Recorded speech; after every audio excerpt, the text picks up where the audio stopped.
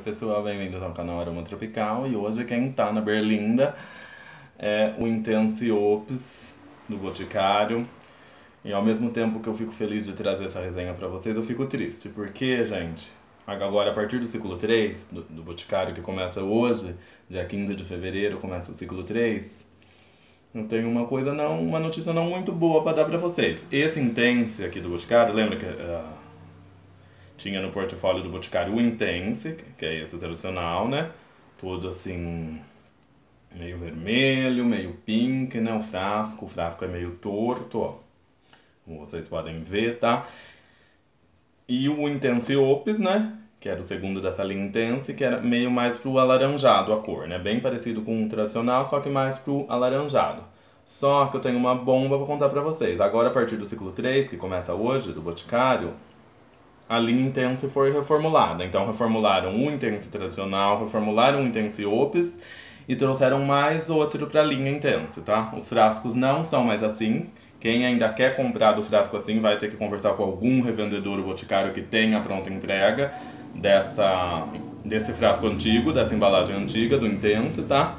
Quem quiser o Intense tradicional, quem quiser o Intense Opus, com esse frasco ainda vai ter que recorrer a algum revendedor boticário que tenha ainda desse frasco, a pronta entrega, tá?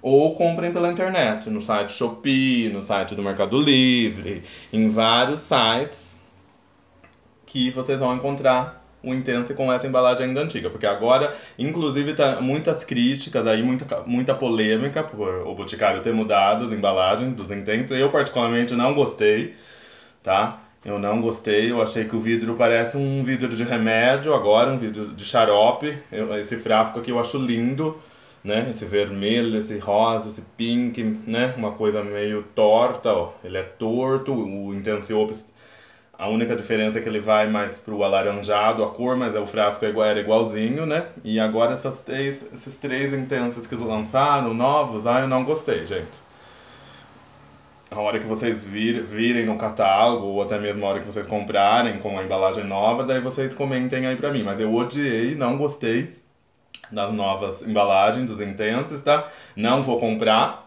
Confesso que não gostei e não vou comprar. Vou ficar com esse aqui. Agora eu vou ter até dó de usar, né? Porque daí quando a gente quiser com esse frasco, vai ter que procurar aí comprar pelo Mercado Livre ou com algum revendedor que tenha ainda com essa embalagem antiga. Mas as embalagens novas, ó, nota zero para o Boticário, tá? Agora, esse Intense aqui, com essa embalagem, era nota mil, era a coisa mais linda. Olha, gente, que frasco lindo, não sei por que tiveram essa ideia de mudar a embalagem, de mudar o frasco, tá?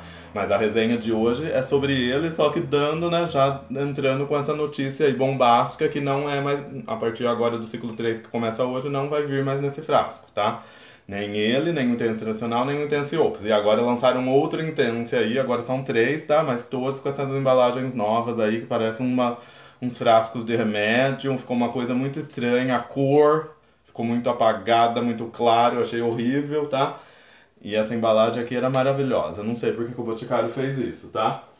Segundo o site Fragrante, que é o site que o, que o canal Aroma Tropical segue para contar para vocês todas as as curiosidades do mundo da perfumaria, ele é um oriental floral, frutado e doce do ano de 2015. O perfumista que assinou essa fragrância é o Eurico Manzini.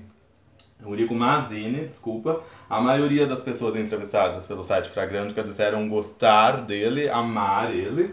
E ele é indicado mais para primavera, verão do que para o dia, tá? As notas de topo são notas florais, as notas de coração framboesa, é a nota, só tem essa nota, segundo o site Fragrância, só framboesa na nota de coração, e as notas de fundo, notas doces, tá? Eles foram bem uh, sucintos, né, na, na resenha deles sobre o, o Intense, só fala que abre com notas florais e fecha com notas doces e no meio tem essa framboesa. Por isso que fala que ele é um frutado doce, né? Mas não fala quais essas flores que abrem e não falam quais são as notas doces que fecham. Só fala que no meio, no coração dele, tem a framboesa, tá? Agora eu vou testar com vocês na minha pele para contar para vocês as minhas impressões sobre ele, o que eu acho do Intense tradicional, tá? Em breve eu posso trazer para vocês a resenha do Intense Opus, tá? Porque agora eu vou guardar esses dois para sempre vai dar até dó de usar porque foram descontinuados, né? Eu não gostei dos frascos novos, então eu nem vou, nem vou pensar em trazê-los para minha coleção, tá, gente? Eu não sei se o cheiro vai ser o mesmo, o cheiro eu não sei se continua o mesmo dos antigos, mas só de ver aquela embalagem já não, a gente já perde a vontade de comprar. Nossa, gente. Assim que você borrifa na pele, a primeira coisa que eu sinto é um cheiro de maquiagem.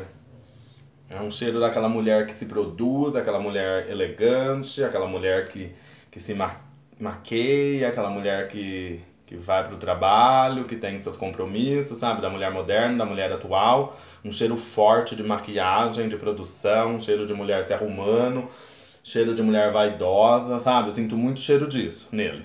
Muito cheiro de maquiagem, tá? E deve ter alguma coisa que deixa ele ao mesmo tempo fresco, ao mesmo tempo assabonetado, tá bom? Então espero que vocês tenham gostado das minhas impressões. Se vocês gostaram, deixe seu like e se inscreva no canal. Tchau!